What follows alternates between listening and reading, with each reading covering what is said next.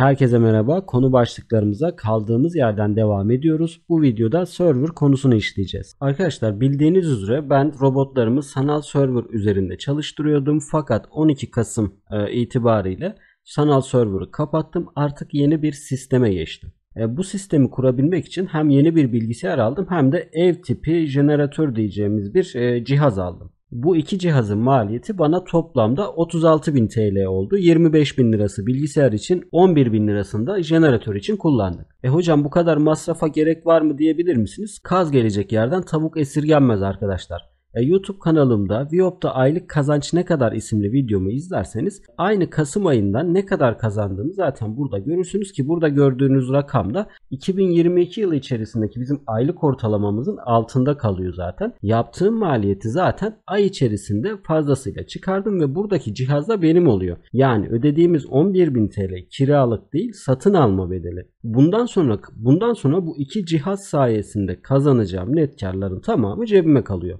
Şimdi bu cihazla ilgili gelen sorular vardı. Buradaki sorular üzerine doğaçlama gidelim. E, Tuncay Bey'in evindeki sistem zaten oturmuş. Bir cihaza ihtiyacı yok. Bu cihazı sadece ev için düşünmeyin arkadaşlar. Dışarıya da götürebilirsiniz. Örneğin kamp yapmaya gittiniz. Enerji ihtiyacınız olabilir. Cihazın ağırlığı 30 kilo. Aracın arkasına atıp yanınızda taşıyabilirsiniz enerji ihtiyacınızı da bu cihaz sayesinde 8-9 saat boyunca karşılamış olursunuz. E bu cihaz nasıl çalışıyor? Öncelikle onu anlatayım.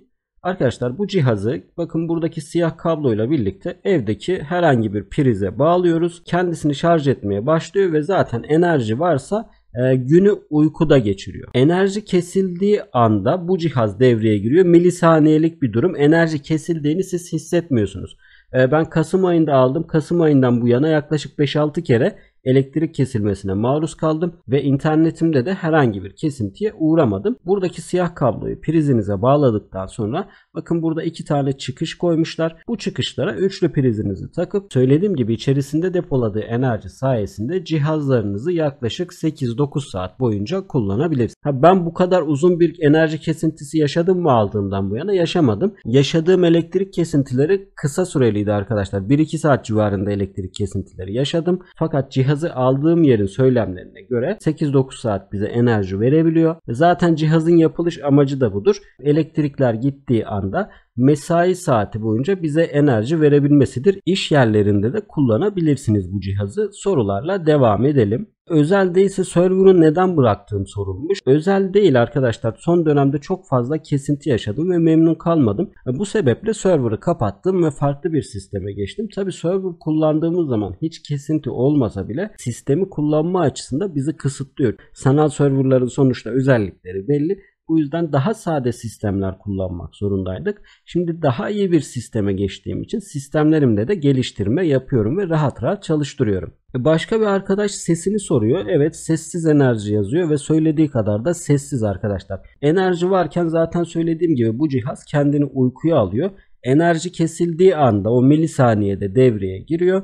Ee, çalışırken de çok fazla bir sesi yok. Sadece küçük bir fan sesi geliyor. O da ara ara geliyor. Tam takip etmedim ama tahminim saat başlarında ya da iç sıcaklığı belli bir dereceye gelince 10-15 saniye kadar bir e, fan sesi geliyor içerisini soğutuyor sonrasında kesiliyor. Onun dışında hiçbir ses yok. Evinize alıp oturma odasına dahi koyabilirsiniz.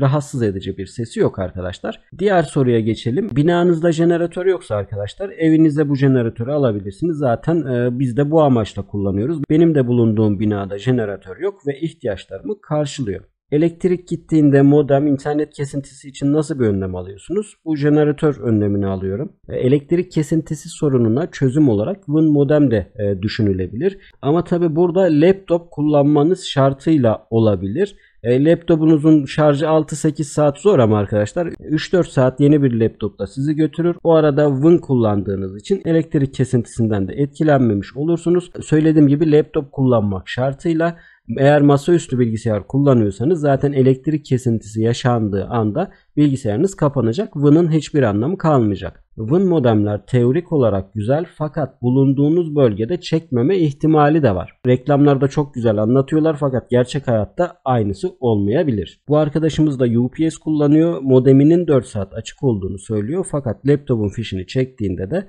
test etmiş 1 e, saatte %60'lara kadar düşmüş. E, ben UPS şu ana kadar hiç kullanmadım.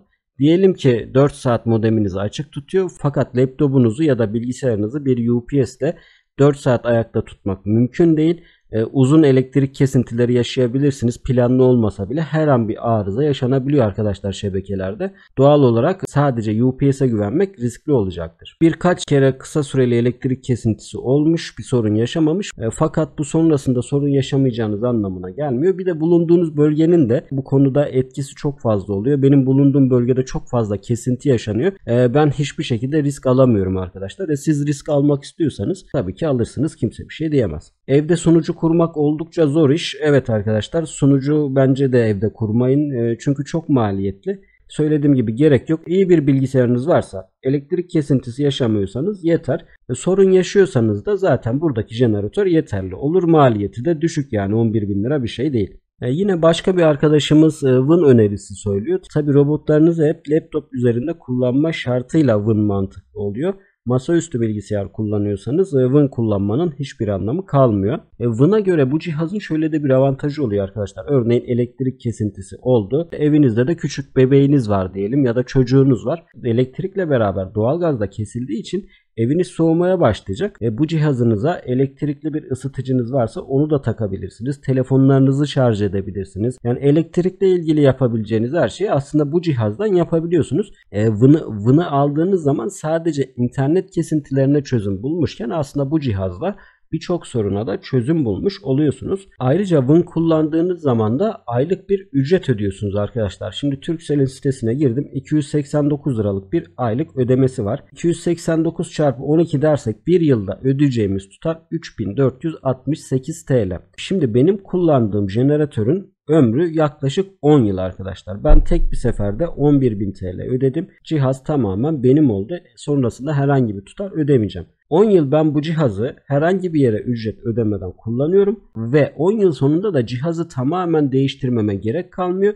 İçerisinde o enerjiyi depoladığı depoyu değiştiriyoruz. Bu da çok küçük maliyetlerle olacaktır zaten. Şimdi Superbox kullandığınızda zaten yıllık ücretini buraya yazdık. E, çarpı 10 dersek 34.680 lira yapıyor ki hep aynı fiyatta olması mümkün değil aylık taksidinizin. Her yıl zaten bu fiyatlar artıyor. Daha yüksek tutarlar ödemiş olursunuz. Yani her açıdan baktığımızda e, evde jeneratör kullanmak e, bence daha karlı. Tabi %100 çözüm değil arkadaşlar. Yine belli noktalarda server kullanmak zorunda kalabiliriz. Nasıl sorunlar yaşayabiliriz? Tatile çıkmamız aslında bizim için büyük bir sorun oluyor. Evde kimse yoksa ve tatile çıkıyorsanız bilgisayarı açık bırakıp gidemezsiniz. Bilgisayar donabilir, kapanabilir. Bu gibi sorunlarda bilgisayara ulaşamazsınız. Doğal olarak robotlarda sıkıntı çekersiniz. E hocam Vın'ı da yanımızda götürürüz. Laptopumuz da var. Sorun olmaz diyebilirsiniz. Yine aynı sorun bizi bekliyor arkadaşlar. Gideceğiniz tatil yerinde Vın'ınızın çekeceğini nereden biliyorsunuz? Örneğin ben bu sene tatilde Dalaman'a gittim. Biraz da dağlık bir alandaydık.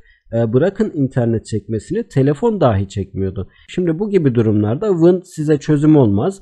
Jeneratör de çözüm olmaz. Ben tatile çıkacağım zaman şunu yaparım. Bir aylık sanal server kiralarım. Zaten fiyatlar uygun. E, robotları biraz daha sadeleştirmek gerekiyor. Bu bilgisayarda kullandığım gibi kullanamam. Biraz daha sadeleştirilmiş halini işte bir hafta 10 gün sanal serverda çalıştırırım. En azından kafam rahat etmiş olur. Enerji sorununu jeneratörle çözdük fakat hız sorunumuz devam ediyor. Evimde normal kullandığım internette 100 megabit internet hızı alırken serverda 1 gigabit alıyordum arkadaşlar. Robotların sağlıklı çalışabilmesi için internet hızımı da yükseltmem gerekiyordu. Altyapımda desteklediği için internet hızımı 1 gigabit'e çıkardık. E, bu tabloda 4 ayrı test görüyoruz arkadaşlar. Nedir bu tablo? Sol tarafta kablolu bağlantıları görüyoruz. Bu yeni aldığım bilgisayarın kablolu hız testi. Alttaki de çalışma için kullandığım bilgisayarın kablolu hız testi. Sağ tarafta da yine aynı şekilde robotları çalıştırdığım yeni bilgisayarın e, Wi-Fi'li hız testi. Alt taraftaki de çalışma bilgisayarının Wi-Fi'li hız testi.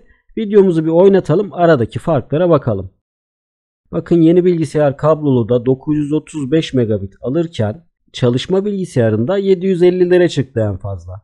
Wi-Fi'ye baktığımızda 439'a 260-270'lerde kaldık.